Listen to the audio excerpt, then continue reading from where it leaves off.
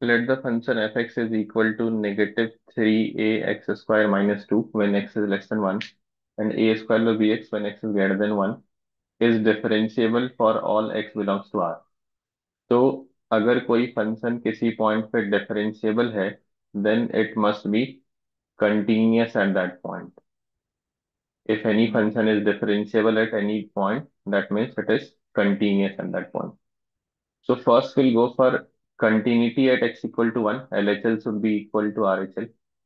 So at x equal to 1, before that for LHL it will be minus 3a minus 2 and for RHL we will be putting 1 here. It is equal to a plus b.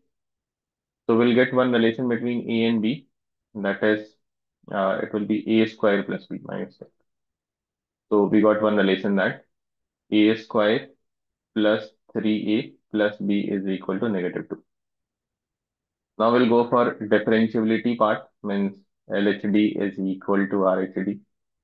And since it is continuous, we can differentiate directly folder wise rather than going for the LHD RHD basic definition. When you differentiate this, you get negative 6ax and putting x equal to 1, you get negative 6a. And differentiating this, you'll get b equal to negative 6a. So you can replace b equal to negative 6a in the first equation. So that gives you a square plus 3a. In place of b, we are writing negative 6a plus 2 is equal to 0. So we are getting a square minus 3a plus 2 equal to 0, which is quadratic in a and gives you two values of a, which is 1 and 2. But in question, it is clearly mentioned that a is greater than 1. So we have to reject a equal to 1 and select a equal to 2. So we have a equal to 2 and since a is equal to 2, b is equal to negative 12 with us. So we got the value of a and b. Now what we have to find is area of the region enclosed by y equal to fx. So what is y equal to fx now? Let's redefine fx by putting the value of a and b, which we obtained. So a is 2 over here. So first one is minus 6x squared minus 2 when x is less than 1. And putting the value of a and b over here, we get 4 minus 12x when x is greater than equal to 1. Let's try to draw the picture of this so that we can get the idea which region area we have to find. So before 1, before 1, we have to plot this graph y equal to negative 6x square minus 2, which is downward parabola, whose vertex is somewhere on the y-axis. So the graph will be like this. Exactly at 1, what is the value? When x is equal to 1, y is equal to negative 8.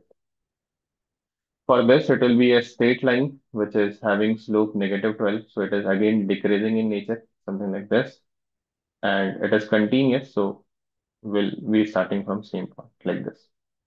And uh, we have to find the area of this region with line y equal to negative 20. Okay. So this graph is y equal to negative 6x square minus 2 and the other one is y equal to 4 minus 12x. And we need a line y equal to negative 20 which will be somewhere here. And we need to find out where they are intersecting this straight line in this parabola. So in this parabola when you're equating it to negative 20 you will be getting it as x square is equal to 20 minus 2 is 18 by 6, which is 3. So x will be equal to plus minus root 3, but we have to select negative root 3 because it is on the left side of 1. On the other hand, when you are equating this straight line to negative 20, 4 minus 12x equal to negative 20. So you'll get x is equal to 20 plus 4, 24 by 12, which is 2. So this point is x equal to 2. We need the area bounded between this fx and the line y equal to minus 20. This area we need. So required area can be obtained by this area of total rectangle minus area of fx, which can be obtained using integrating fx from negative root 3 to 2. Negative root 3 to 2 dx. Now how to find area of rectangle that is length into breadth. This distance is how much? 2 plus root 3 and how much is the height? Height is 20 because this line is y equal to minus 20. So this is the area of rectangle part which is 40 plus 20 root. Minus, uh, we have to take mod because fx is completely below x-axis. So area should be positive but integration will be negative. Now what is fx? fx has two partitions till 1 it is minus 6x square minus 2. So when you are taking mod it will be 6x square plus 2 from negative root 3 to 1.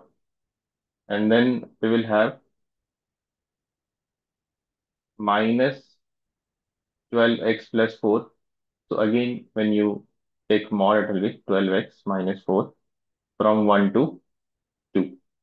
So we have to do this integration. Let's simplify this. It will be 40 plus 20 root 3 minus integration is very simple. You can do it. So it will be 2x cube plus 2x for the limit negative root 3 to 1. And this integration is 6x square minus 4x for the limit 1 to 2. So this can be easily simplified and when you'll simplify, you'll get this answer as 22 plus 12 root 3. And now we have to equate it to alpha plus beta root 3. So when you're equating it to alpha plus beta root 3, you will be getting alpha as 22 and beta as 12. So alpha plus beta will be 34. Let's check what is the answer given. Answer is given as 34.